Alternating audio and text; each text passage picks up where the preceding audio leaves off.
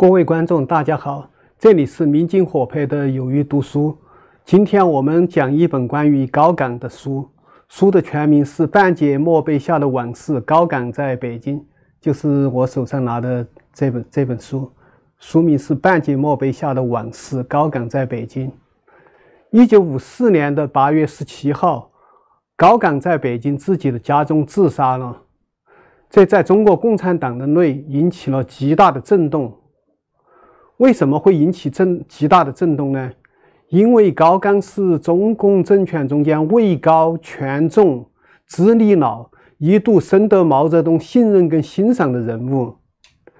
另外呢，他的自杀牵连了很多部下跟同事。他死了之后，随之而来的是大清洗跟大批判。高岗生于一九零五年，他在世的时间为四十九年。说他地位高。是因为他担任了中华人民共和国的副主席、中央军委副主席的职务，同时任中央人民政府计划委员会主席。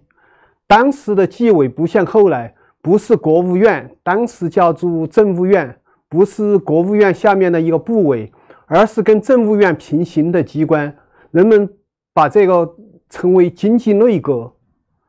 说他的权重，是因为他跟其他的地方大员不一样。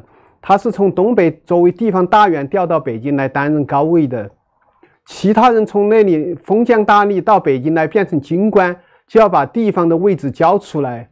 而高岗呢，成为中央大员以后呢，仍然保留了原来的职位，即当了他还是东北地区的党的第一书记、政府的主席、军区司令员兼政委。一九五二年。中共中央调东北的高岗、中南的邓子恢、西南的邓小平、华东的饶漱石、西北的习仲勋到北京就任高位，其中高岗的职位最高，而且是唯一保留了原先职务的人，他仍然是东北地区第一号领导人。所以当初有人就把这种局面叫做“五马进京，一马当先”。五马就是五个地区的。中中央局的书记调到北京来当高官，五马进京，一马当先，就其中最突出的是高岗，所以当先的这匹骏马就是高岗。说他资格老，是因为高岗和刘志丹、谢子长一道开创了中共的陕北红军跟陕北地地区的革命根据地。这块根据地对于中国共产党来说是一个至关重要的事情，因为它给了朱德、毛泽东领导的。走投无路的中央红军提供了一个落脚的地方。那时候，国民党军队围剿红军，他们搞的是走投无路的，最后最后在陕北找到一个落脚之地。这点是对于中共军队的后来发展是至关重要的一个救救命的事情。后来呢，刘志丹在战斗中间牺牲了，谢子长因病逝世了。高岗就在刘志丹、谢子长之后，成为了唯一的。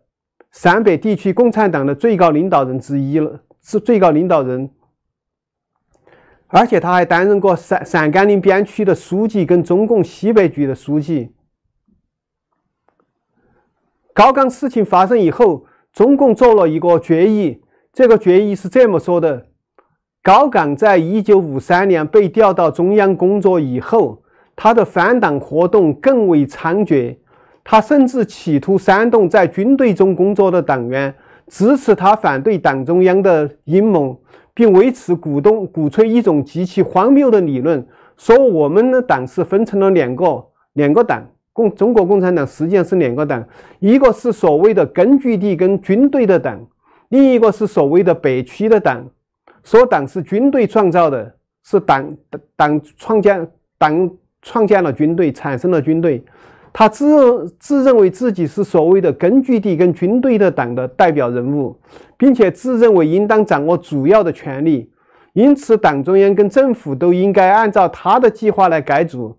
他自己在现实呢，应该担任党中央的总书记或者是副主席，然后呢，担任国务院总理，在党的七届四中全会上向党反向反党分子提出严重的警告以后。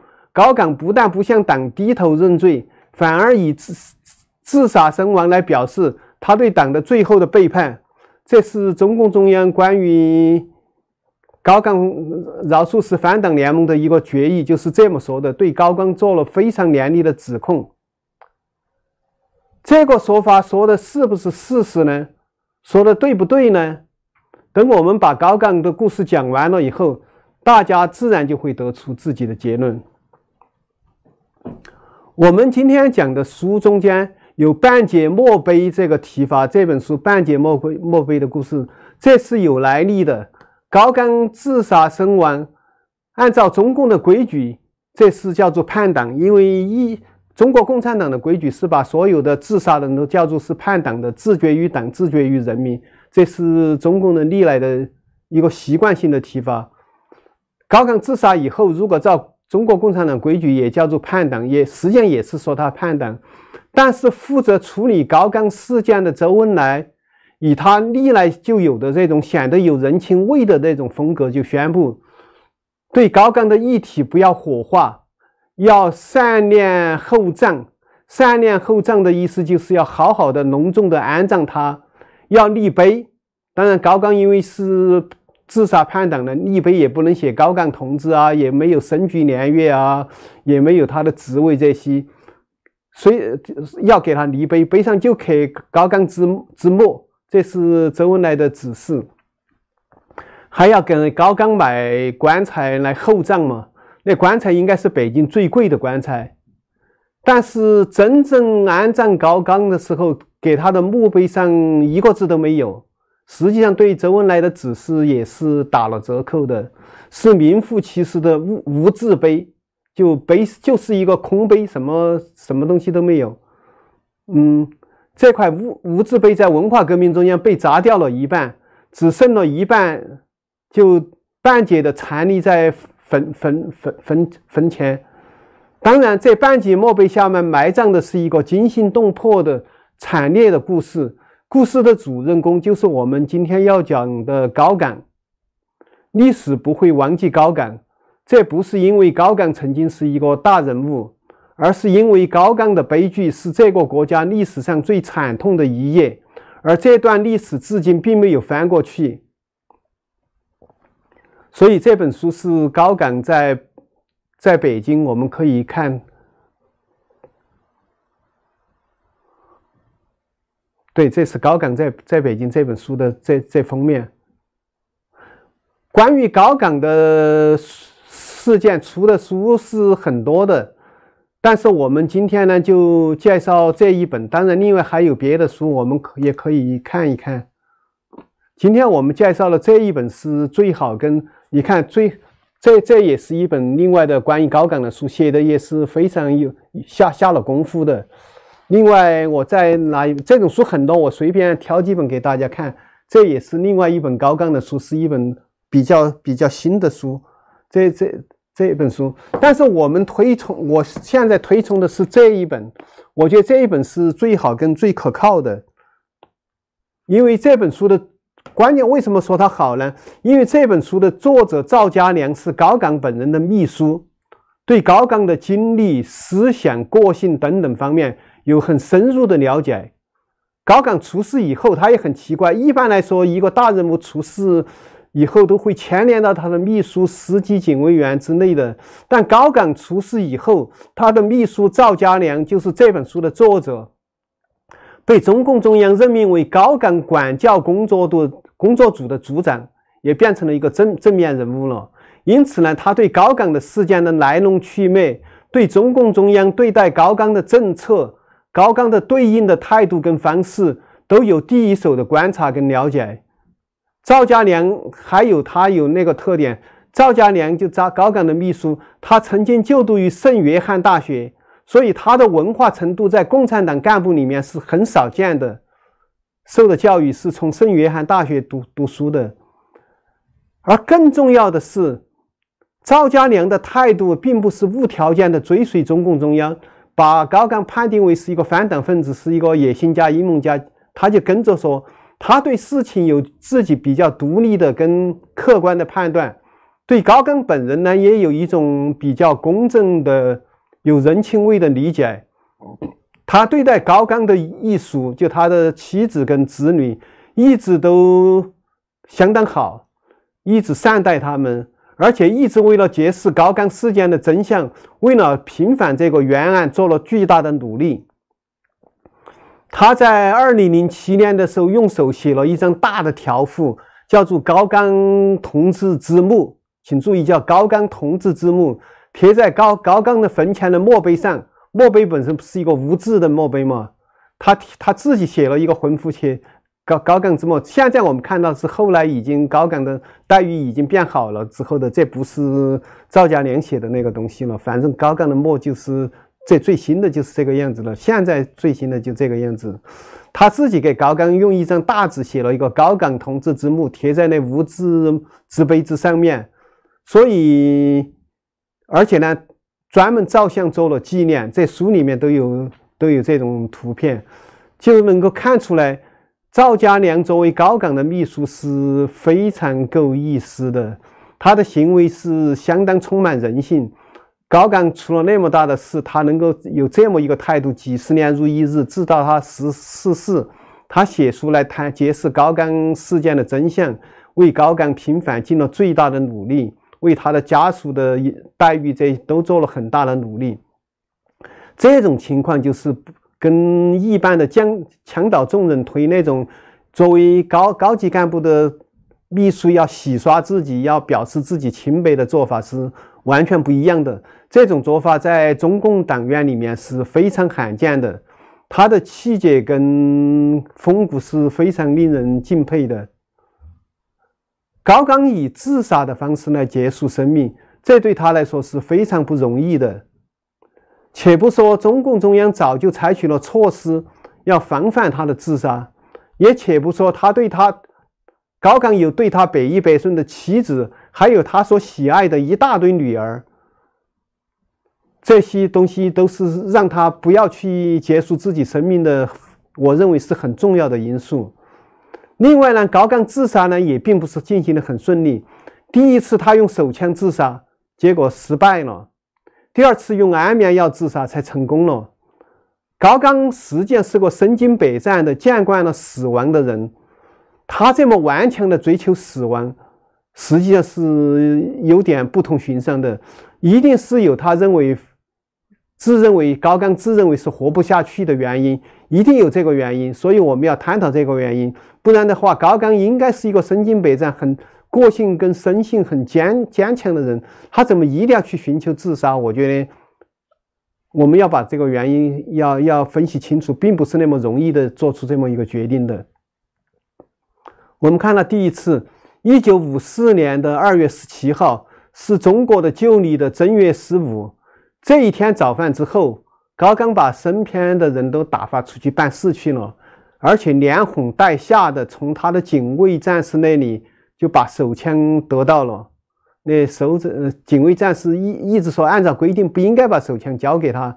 在高岗作为大首长，连哄带骗带压，就把手警卫战士的手枪搞到自己手上了。然后他回到办公室，他把早就准备好的两封信。写上收信人的姓名，交给秘书，把这信发出去。他的两封信，一封是写给毛泽东的，信里面是对自己的案情、自己的所作所为进行了分辨，表达了对毛泽东的绝对的忠心。第二封信是写给周恩来的，这是一封托孤的遗遗嘱，请求周恩来在自己死后好好的照顾自己的妻子跟子女。这两位秘书跟他的妻子李立群就觉察到了高岗有自杀的意图，就去尽量的劝他。说话的期间，高岗突然从裤袋里掏出手枪，向自己的头上扣动扳机。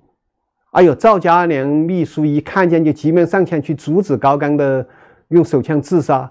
也不知道是不是因为赵家良把手枪打落在地上了，本来在高岗的手上。反正这么一干扰的话，手枪的子弹就没有击中高岗的头部，而是插着高岗的头皮就射向了墙壁。高岗就发现自己没有被子弹击中，枪也掉在地上，就拼命去抢枪，还想扣动扳机再再次自杀。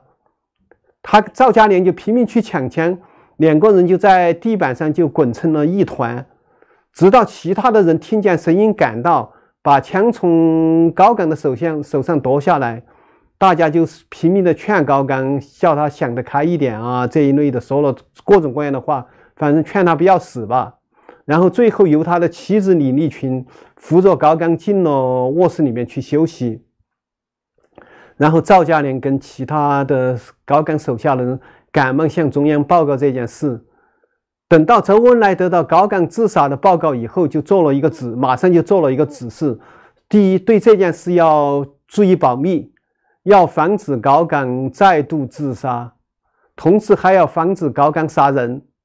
他急坏了，你不让他自杀，结果他把你给杀了，这种可能性也有。另外呢，要防止高岗要逃到外国大使馆去。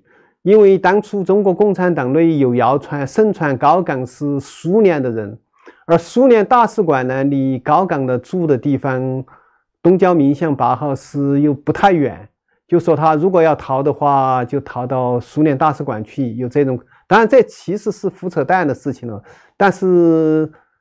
中共中央反正警惕性还是很高的嘛，要防止他再次自杀，防止他自杀不成的时候行凶杀人。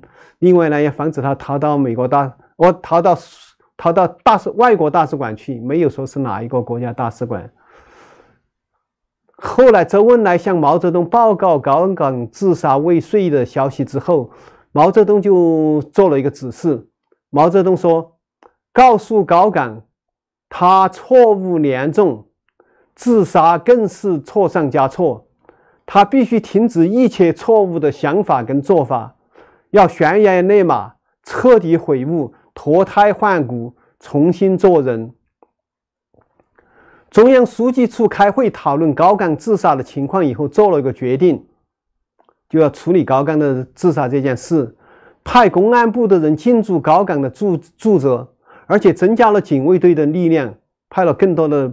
部队的人员住住在他们家家里跟家的附近。高岗第一次自杀就没有成功，但是高岗的死意已定。半年之后，刚好半年之后，他终于再次自杀成功了。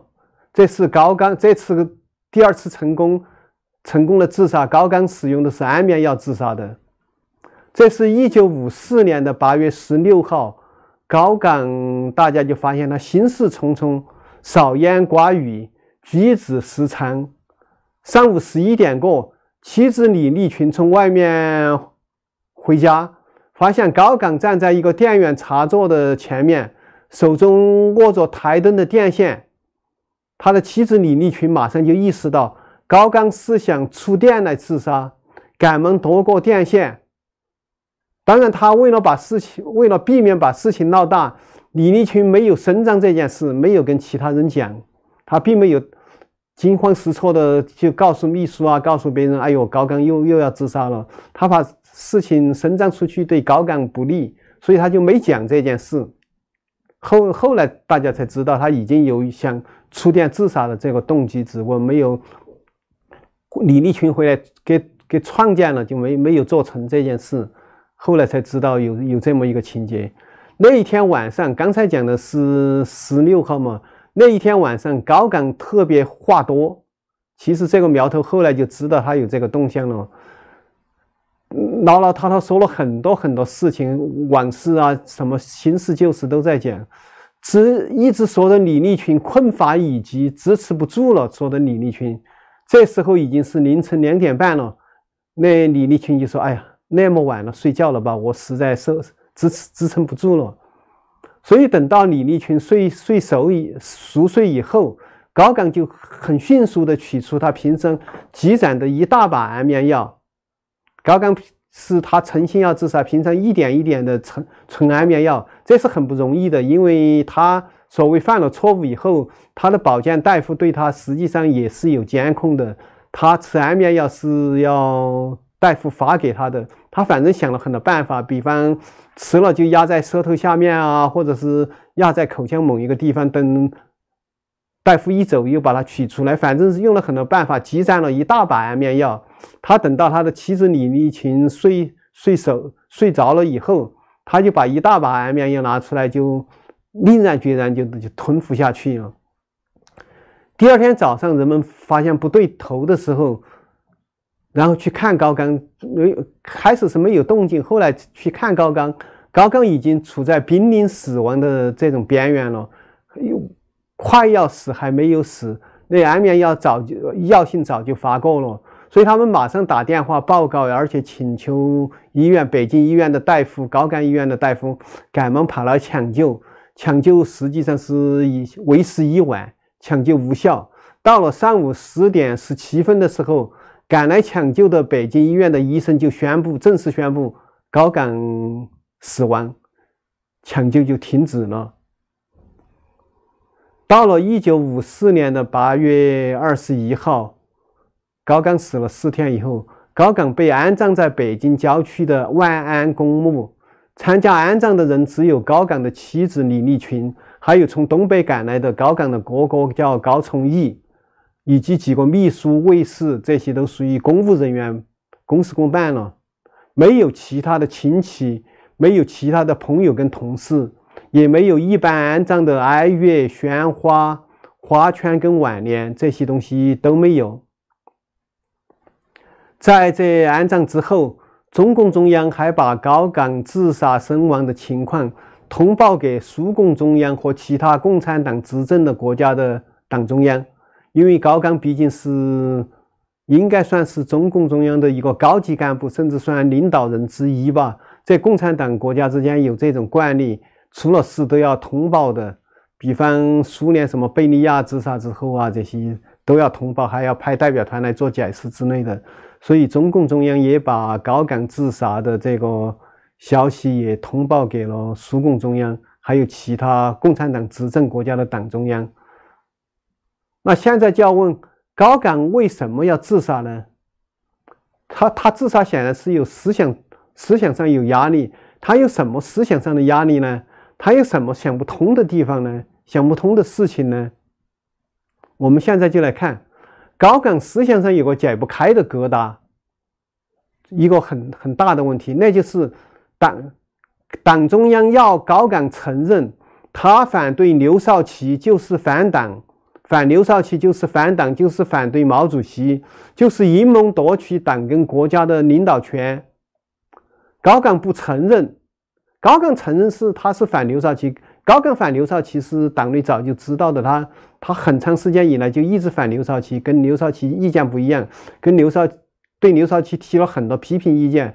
在很多场合都攻击过刘少奇，高岗是承认这一点的，但是要把它等同于反对刘少奇，就等于反对党中央，就等于反对毛主席，这条高岗就很难接受了。高岗就承认他散布了很多对刘少奇不满的言论，他承认他认认为刘少奇不适合做毛泽东的接班人。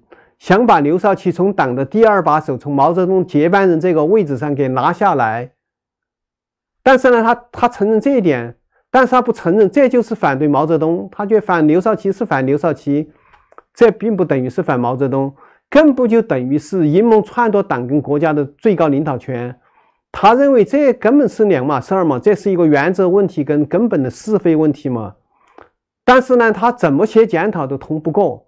就是因为他不承认自己有篡篡党夺权这个行为，但是呢，党中央一直要求他，就是说，你如果检讨要有诚意的话，你要检讨要深刻的话，就是要承认你是篡党夺权的罪行，你是野心家、阴谋家，你是借打倒刘少奇来打倒毛、推翻毛泽东，跟要篡夺党中央的大权，这一点他是真实也不承承认的，他是万万不不愿意承认这一条的。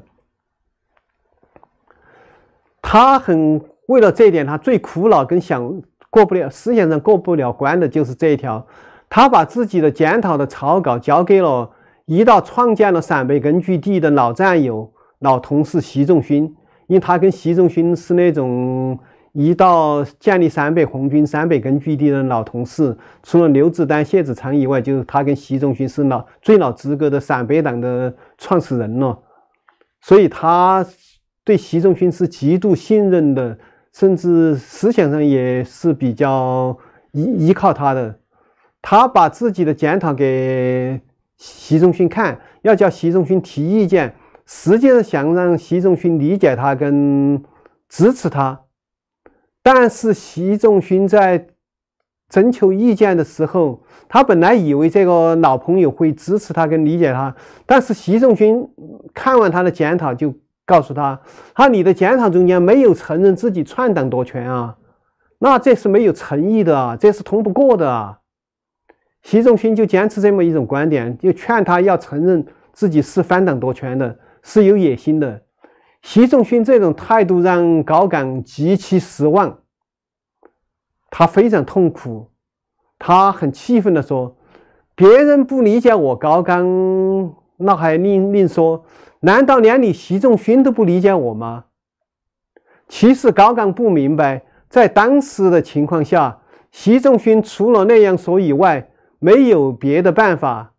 习仲勋如果不那样说的话，他自己也脱不了干系。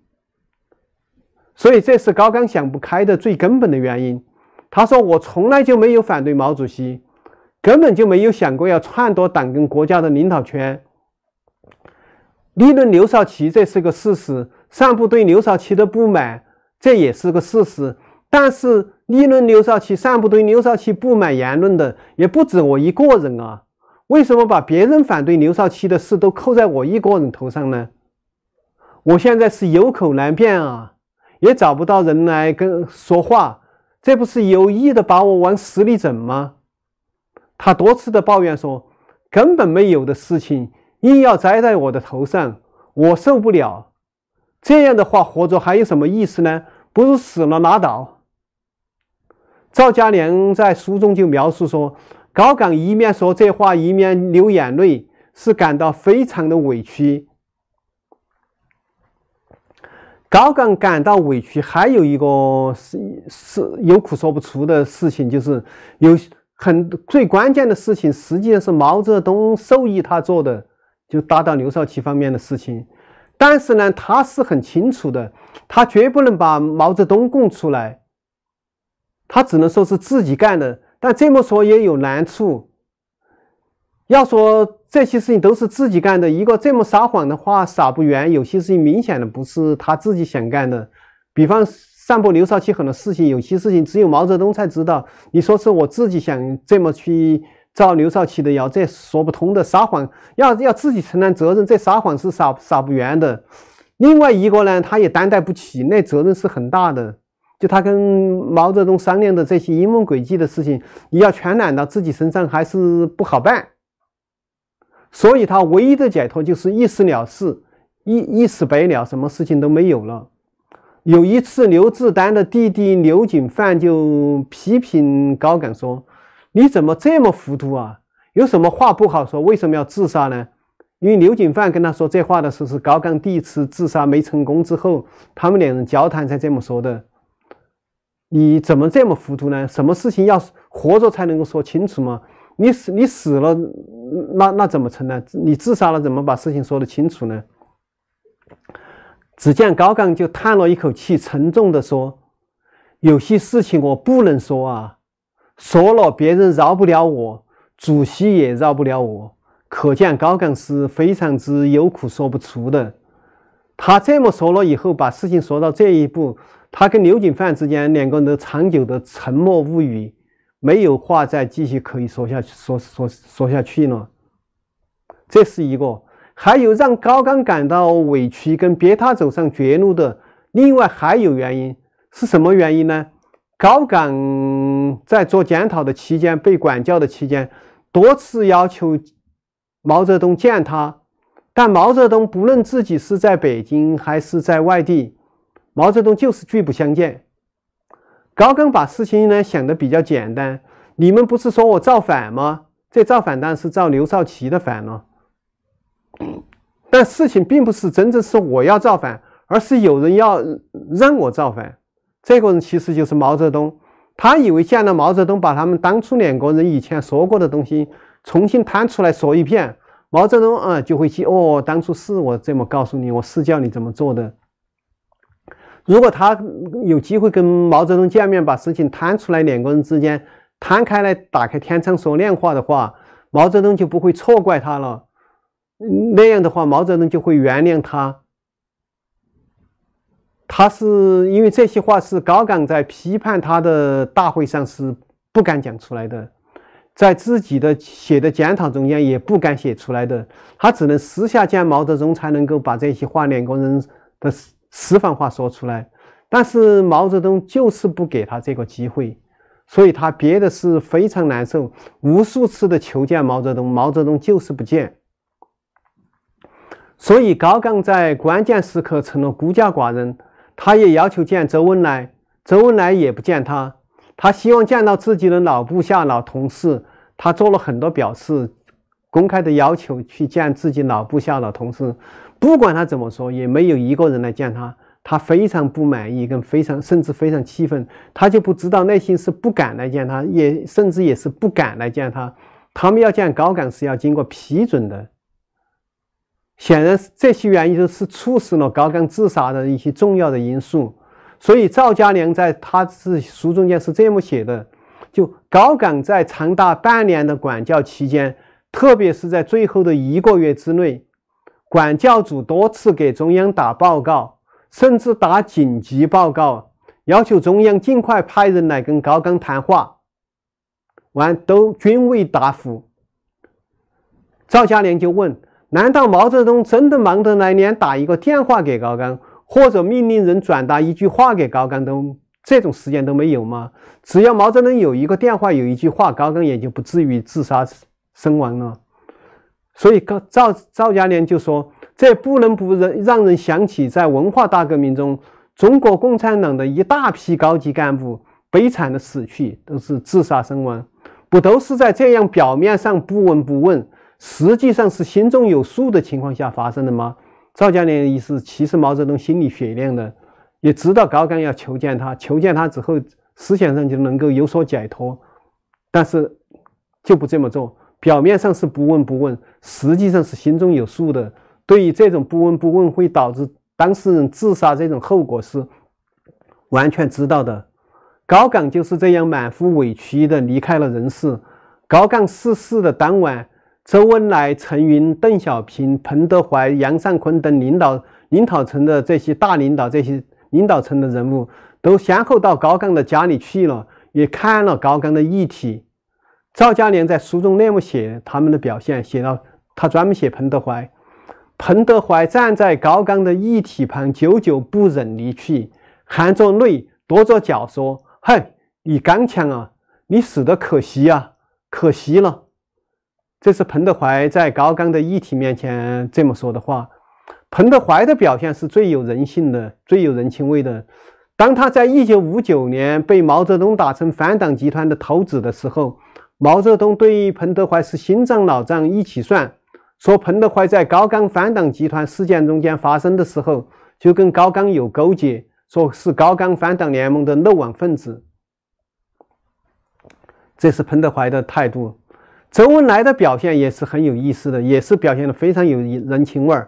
他对处理高岗的后事发出指示，说高岗的遗体不要火化，表示更更加尊重；要善念厚葬，就是要隆重的安葬；要安排人去北京买最好的棺材，要一千二百块钱的那种，就北京最贵的棺材，就是就这一种。在上个世纪五十年代的时候，一千二百块钱是一笔相当大的数字。就周周恩来只是要让要隆重的安葬高岗，就是这这么一个意思。他还只是要在高岗的墓前立碑。高岗死了很多年以后，甚至在文化大革命时期，周恩来都是非常用心的保护高岗的艺艺术，比方安排高岗的妻子李立群给他安排工作，甚至给他安排职务，市局级的干部，全国的什么。政协和人大代表之类的，把高岗的子女从当知青的农村调回城里，安排还给他们安排住房之类的。这是周恩来表现的非常有人情味，非常用心的照顾高岗的这一面。不过，高岗的家属对于周恩来的两面性是心知肚明的。其中有人就这么说：周恩来当初参与整死高岗的人有周恩来，有他。后来用心的照顾高岗的家人的照家属的也是他，这就大家对他也是看得很清楚的。毛泽东对高岗的死的反应是怎么样的呢？中国人一般的习惯是，反正人都死了，对死人就只说好话，不说坏话了。但毛泽东不是这样，毛泽东半句好话都不肯说。当初的公安部长叫罗瑞卿，罗瑞卿对毛泽东做检讨，工作上是这样嘛？罗瑞卿就说：“高岗死了，我们有责任，因为罗瑞卿是公安部长，工作没有做到家，没做好，就是没有把高岗监视好，让高岗自杀成功了。”毛泽东说。你不要检讨，天要下雨，娘要嫁人，他要死，谁也管挡不住。罗瑞卿还对赵家良传达了那么一个意思：毛泽东知道高岗自杀身亡的消息之后，非常生气。他说：“死了，死了拉倒，还不如一条狗呢。”高岗自杀后，周恩来、罗瑞卿到沈阳去召开东北高干会议。揭发批判高岗的同时，还要深挖高岗的同党，要揪出一个高岗反反党集团。结果在东北局的主要领原来的领导人中间，除了林峰一个人，林峰因为是刘少奇的人，其他东北局的主要领导人全部被划成了高岗反党反中央中派集团。更加可靠的是，因为仅仅凭了东北军区一个副政委叫周环，他在揭发的时候信口开河，胡说八道。凭空捏造，就把原东北局的第二书记张秀山、第三书记张明远、组织部长郭峰、东北局农村工作部的部长兼秘书长赵德尊，还有原办公厅主任马洪这五个人，东北局原来的高级干部跟这东北局的领领导人打成是五虎上将，这个名字也好记，也很。也很刺激人，其实纯粹是那个人在那里胡说八道的，把这些打成五虎上将。